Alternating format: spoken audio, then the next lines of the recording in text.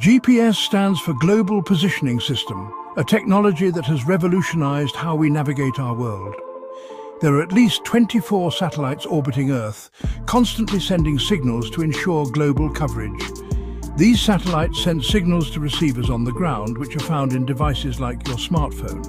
GPS satellites have atomic clocks, which are super precise and keep everyone in sync, ensuring accurate timekeeping.